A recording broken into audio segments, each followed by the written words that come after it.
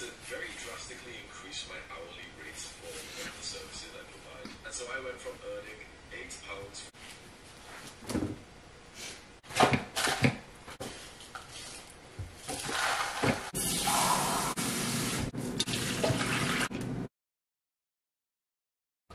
What is up, YouTube?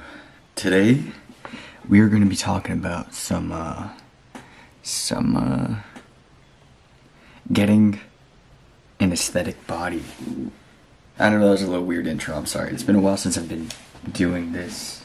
It's been a while since I've done YouTube. but let's talk about how to get your aesthetic body, like the body of your dreams, like like Chris Hemsworth type stuff. So, this is the ultimate guide. So, if you're ready to transform your life, transform your lifestyle, transform how you approach it, approach fitness, tune in and watch this. So, I divided this up into three phases, very easy to follow. Each phase should be about three to six months. Honestly, phase three should go on forever. And phase one and two can be as long as you want, but I recommend like three to six months for each of them. Ideally, towards the six month side because you want to, you know, build yourself up. But you want fast results, so let's do this fast. Phase one is muscularity.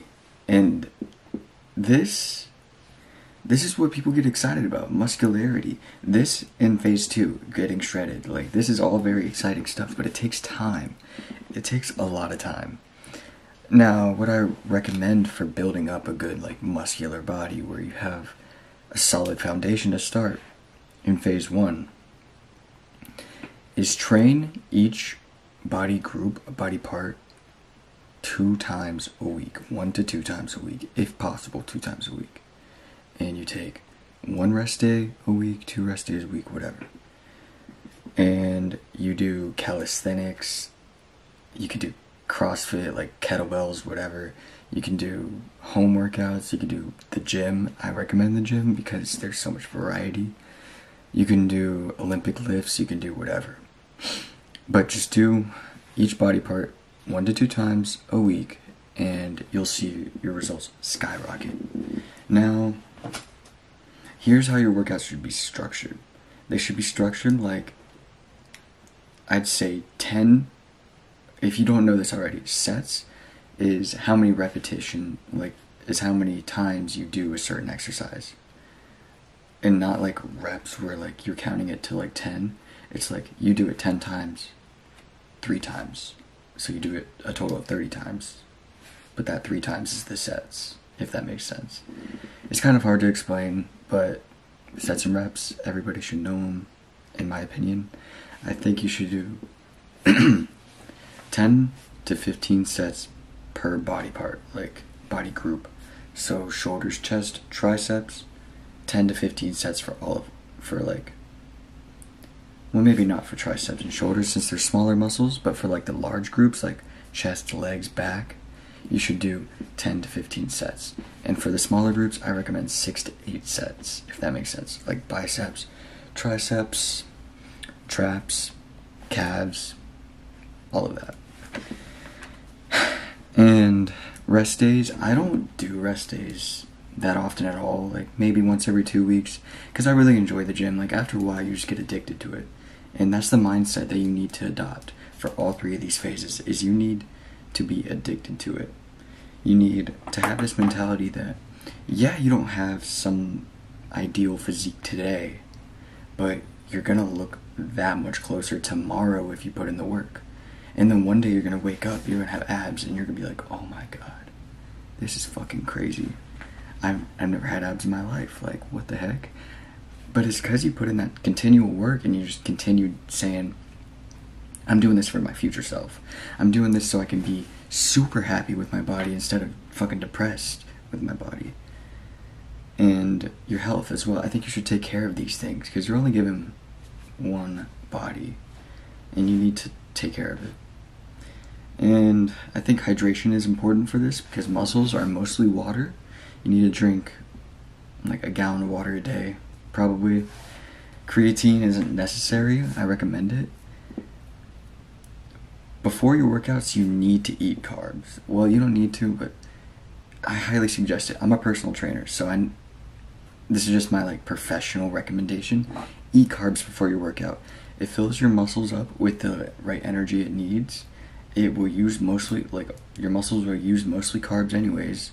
So might as well give your body that extra boost while you're working out. Just eat a Rice Krispie treat before you work out And that could be like your dessert in the morning or whatever. And it'll just really help you out in your workouts and help you get better results in the future. And protein. This is what I ignored for like six years is protein. You have to eat one one plus grams of protein per pound of body fat. So say you're like me, you weigh 140 pounds. I know I'm light, I'm short, it's whatever. I weigh 140 pounds. I need to be eating 140 grams of protein, ideally. And now studies say that you need 0.8, but that's not optimal.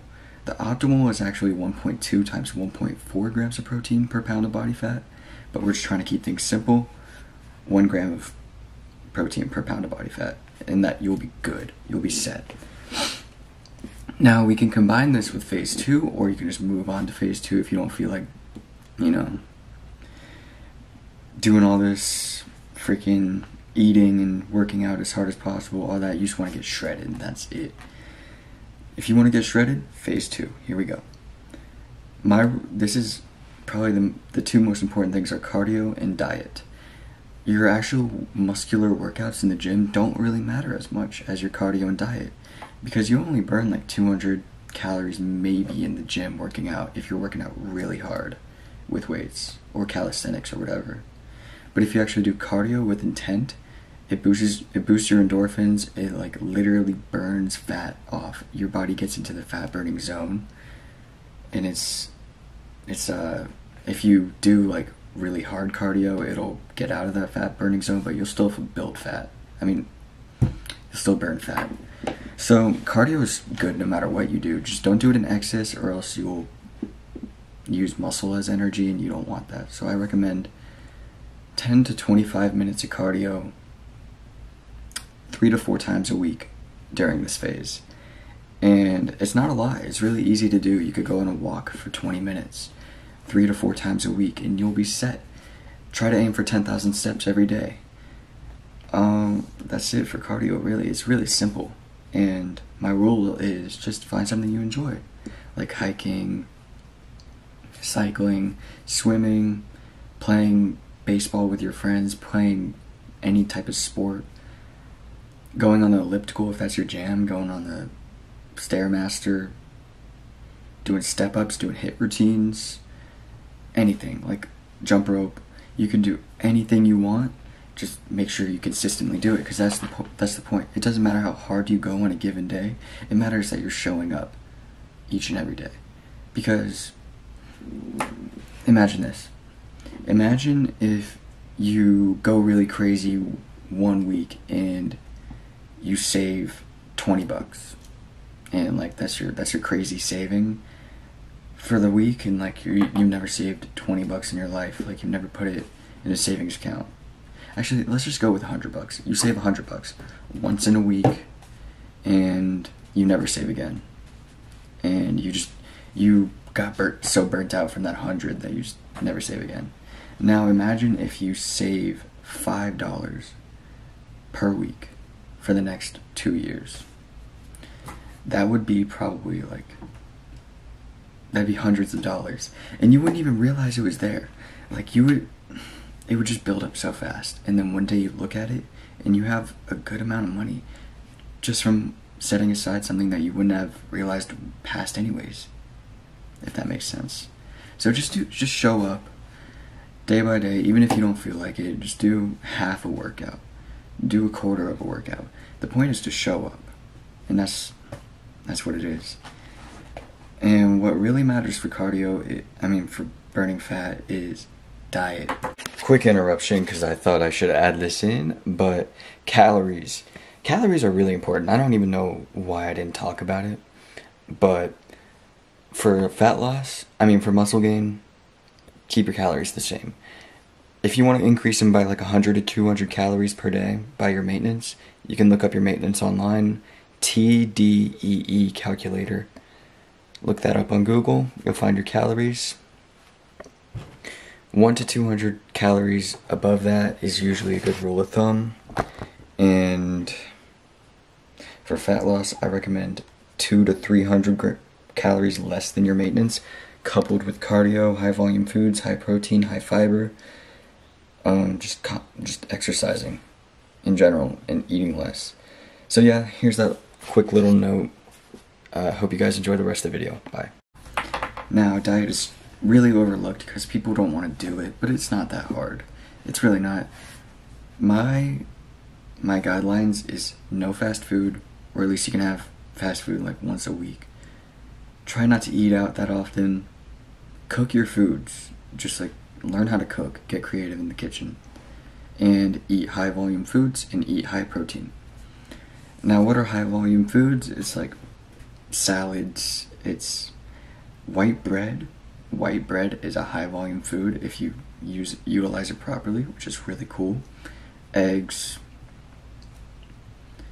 um, a whole bunch of foods, apples. They just they offer you a lot of nutrition and volume for very little calories. And if you just eat those, you'll be full all day. You won't even want to eat fast food because you'll be so full from all the protein you've had, all the fiber you had. Because those things, they make you, they take longer to digest. So you'll be full for longer and you'll lose more weight. And you can find things that you actually enjoy eating that are in these categories of low volume foods. Look up look up anabolic kitchen or anabolic foods. Those things are killer. They're a little bit out of my price range, so I don't do them, but they're really good. Um, yeah, that's it for phase two. You just need to do cardio, diet, do the same training. Like, just stick to the same training. Diet, cardio, same training. And just be intentional about your life and what you do and what you eat and what activities you're doing. Just design your life to where you actually enjoy doing these things. Don't kill yourself. Like don't make don't make yourself have a bad experience, you know? Phase 3, main gaining. Main gaining is what I've been doing for a bit. I don't really want to gain muscle. I don't want I don't want to lose too much fat. Like I lose fat just because of my lifestyle really easily. So, Here's how I do it. Here's how to gain muscle without gaining fat. This is so great. And in phase one and phase two, you'll experience this. You'll gain muscle and lose fat at the same time. It's crazy. You, all you do is you eat the same protein, one gram of protein per pound of body fat. You eat nutritious foods, or at least not fast foods or process, heavily processed foods you train harder each every each and every day just track your progress and train one or two reps harder on each set than the other one than the one from yesterday or the one from last week. Just make sure you're making continual progress and that's called progressive overload which is the stimulus for muscle growth. It's super important. You just need to train a little bit harder. It's not even going to be that noticeable but you will have enormous results in the long run. Cardio, I would reduce it to like two to three times a week, just go on walks or whatever. Because if you do too much, you'll burn off way too much energy and you'll just deplete your muscles. You could get re- really shredded, but it's usually not worth it because your energy will go down. That's what I find at least. And yeah, that's pretty much it. I know this guide's all over the place, but you know, you know how it is. Scramble brain. But I'll list out all the steps in the description. I'll um, I give really in-depth personal training advice. On my website, it's newtraining.com. And that's my personal training website where I do online training. And if you live in the Canton, Woodstock, Holly Springs, Kennesaw area in Georgia, I can train you in person and show you how to do exactly this. And I can give you even more in depth information and advice on how to get absolutely jacked or at least achieve what you want. And with that being said, go become a Chad or a Chad S. You got this.